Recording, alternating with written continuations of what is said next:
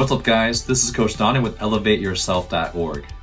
I have some bad news for you. Stanford University decided to eliminate 11 of their Division 1 sports programs due to budgeting constraints, and unfortunately, men's volleyball was one of those programs. My heart just sank when I read the news that was released in an open letter by the university, which I'll link for you in the description box.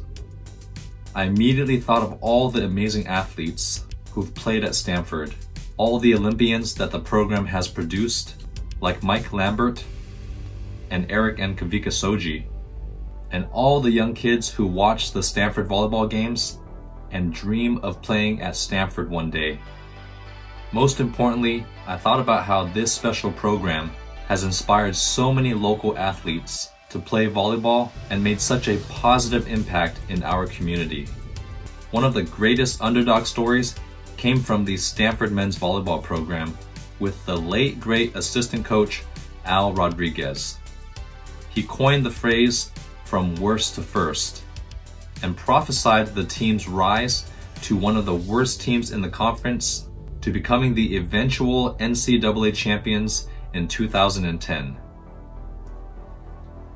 I remember first watching the Stanford men's team play against UC Irvine when I was just 19 years old, and I had a chance to see Kevin Hansen play, who was one of the top setters in the nation at that time, and eventually became a 2008 Olympic gold medalist.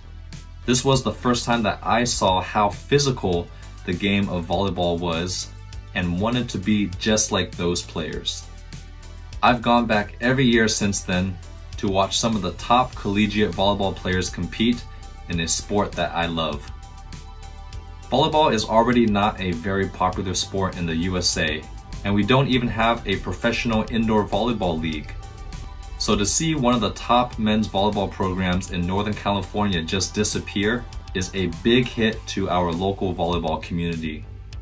Please help us bring back the Stanford men's volleyball program by signing the petition linked in the description box below and pass it along to as many people you know who also love the sport of volleyball and wish to grow the sport even more. I'm not exactly sure how we will bring this beloved program back, but I know we have to try to do something and take it one step at a time. I'll link all of the Stanford men's volleyball games that I've recorded in the description box for you to watch and remember why we need to bring this program back. Thank you for supporting the sport of volleyball and considering my request. So let's bring back this team together.